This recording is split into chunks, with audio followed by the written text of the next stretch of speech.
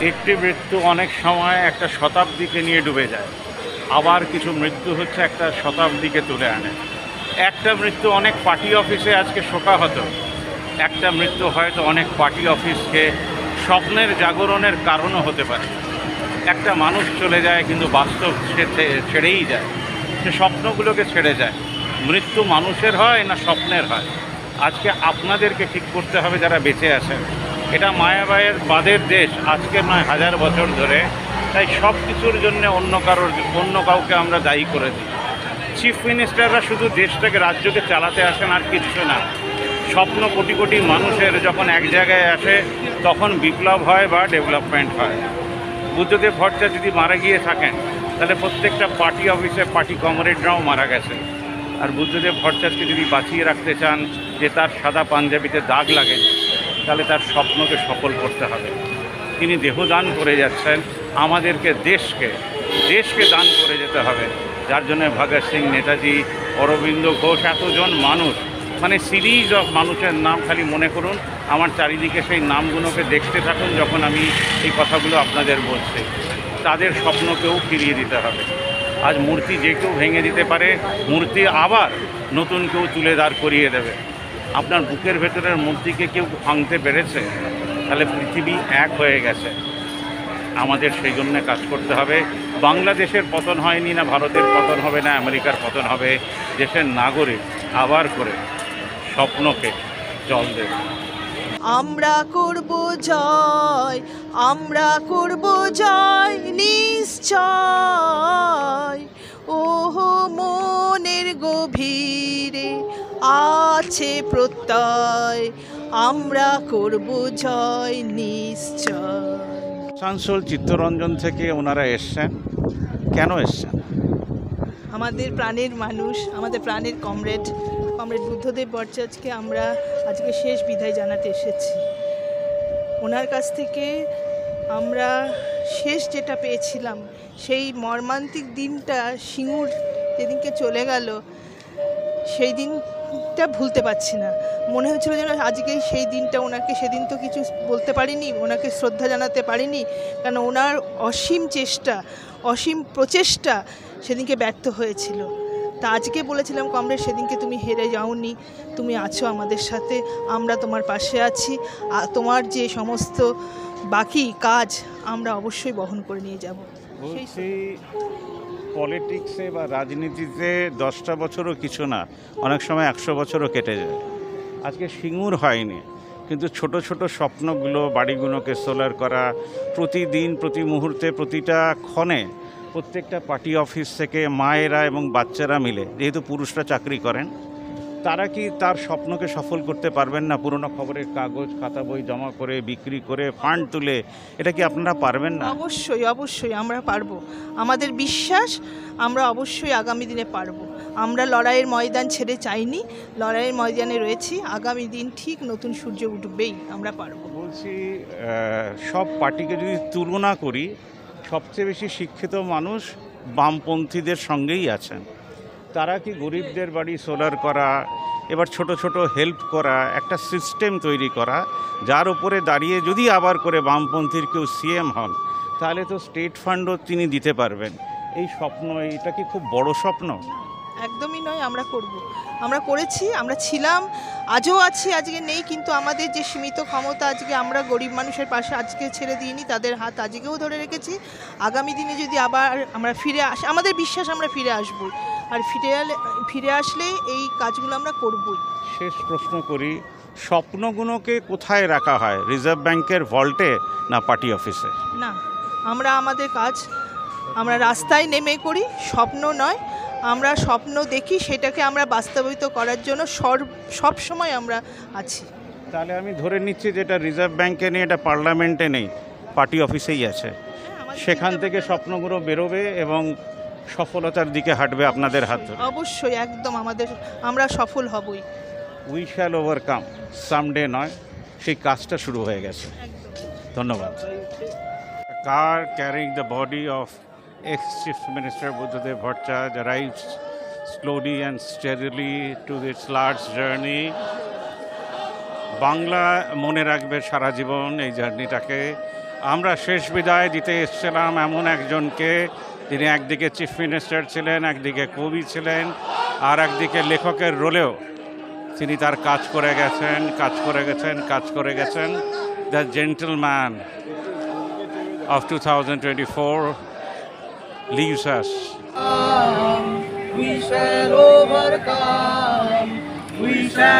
overcome.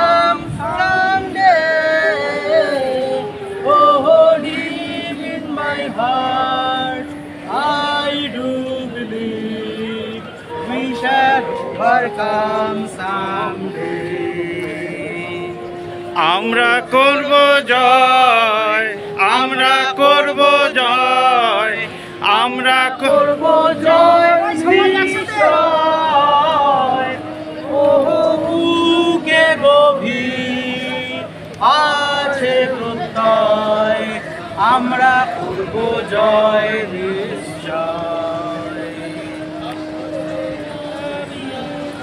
हम होंगे कामयाब हम होंगे कामयाब एक दिन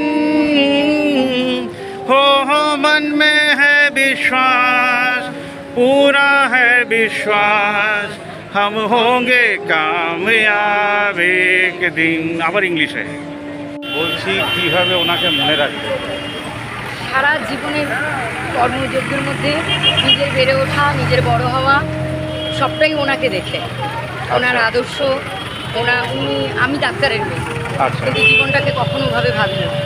সারা জীবন এটাই ভেবে এসেছি যে comrade Buddhadeb Bhattacharya comrade Anil Biswas comrade Binoy দে এনারা যদি পারে কমরেড আমাদের চোখের সামনে এখনও বিমানদা আছেন ওনারা যদি জীবনটাকে সাধারণ মানুষের সঙ্গে সাধারণভাবে নিয়ে চলতে পারেন তাহলে আমরা কেন পারব না?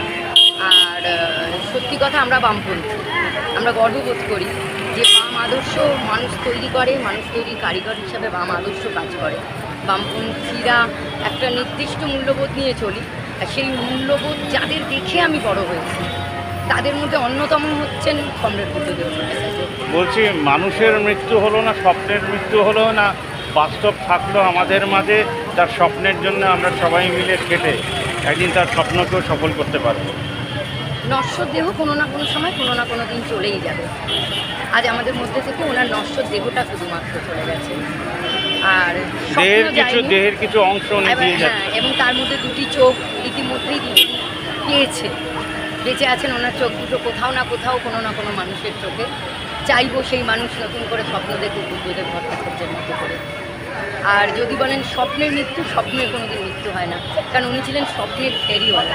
ওনার স্বপ্নকে উনি আমাদের মাঝে জাগিয়েছেন প্রতিদিন প্রতি মুহূর্তে সেই স্বপ্ন বেঁচে থাকবে আমাদের মধ্যে। আমরা আজীবন ওনার স্বপ্ন, ওনার আদর্শ লাল ঝান্ডা পথ মাথায় নিয়ে, হাতে নিয়ে, কাঁধে নিয়ে, যেখানে পারব সেখানে লড়াইয়ের ময়দানে সেই স্বপ্নকে বাস্তব করার লড়াই চালিয়ে যাবে। বলছি, একটা সিঙ্গুর হয়নি। কিন্তু প্রত্যেকটা বাড়ির ওপরে সোলার হতে পারে।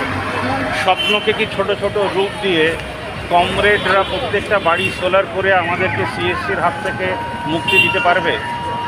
দেখুন, আমরা একটা গণতান্ত্রিক, এমন একটা গণতান্ত্রিক সিস্টেমের মধ্যে বসবাস করি। তাছাড়া বললে হয়তো শুনতে খারাপ লাগবে এই মুহূর্তে গণতান্ত্রিক দেশে স্বৈরাচারী সরকার বলা উচিত না। তবুও বলব, এমন একজন মুখ্যমন্ত্রী পশ্চিমবঙ্গ পরিচালনার দায়িত্ব নিয়েছেন।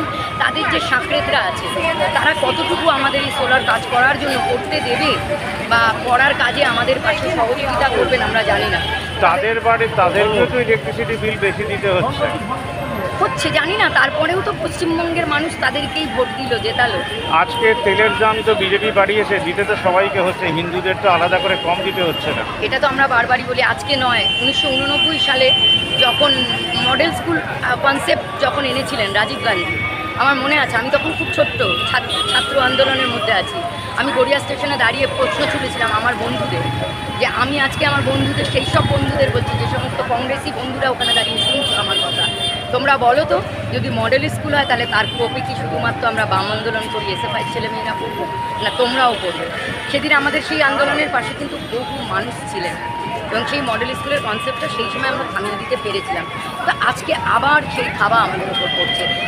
সরকারি শিক্ষা ব্যবস্থা ধ্বংস হয়ে যাচ্ছে, ভেঙে পড়ছে সরকারি হসপিটাল যা কিছু সরকারি পরিষেবা, আমাদের যে দ্রব্যমূল্যর মধ্যে যে ভর্তুকি দেওয়ার ব্যাপার ছিল কোনো জায়গায় আজকে আর সেটা আজকে আপনি কি মনে করেন যে দেশের সাধারণ মানুষেরা প্রায় কিছু করে না সব পার্টি অফিস থেকে? সেই দেশের গভর্নমেন্ট আদৌ কিছু করে উঠতে পারবে? আমি এখনও বিশ্বাস করি গণতান্ত্রিক দেশে গণতন্ত্রই শেষ কথা বলে গভর্নমেন্টই শেষ কথা বলে।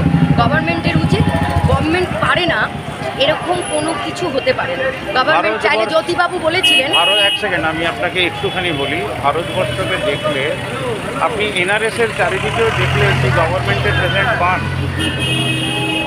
আজকে শিয়ালদার চারিদিকে দেখলে কি গভর্নমেন্টের প্রেজেন্ট পান আপনারা তো মানুষের থেকে দায়িত্বটা সরিয়ে দিয়ে মানে আপনারও দুটো হাত দুটো পা। মমতাদিরও তাই বিল ক্লিন্টনেরও তাই। তাহলে একটা গণতান্ত্রিক দেশে নাগরিকের কোনো ভূমিকা থাকবে না। শুধু সরকারের থাকবে? একদমই নয় নাগরিক ভূমিকা আছে বলে তাহলে তো বাংলাদেশে কোনো রকম রিভোল্টই হতো না। ওটা না দুটোকে মেলাবেন না। বাংলাদেশের রিভল্ট আর পশ্চিমবঙ্গের রিভল্টের পার্থক্য এখানেই। সবাই চেঞ্জ চায় যে বাংলাদেশ না না একদমই নয়। বাংলাদেশের রিভল্ট আর পশ্চিমবঙ্গের রিভল্টের পার্থক্যটা এখানেই। পশ্চিমবঙ্গেও ছাত্ররা দু বছর ধরে রাস্তায় বসে আন্দোলন করেছে।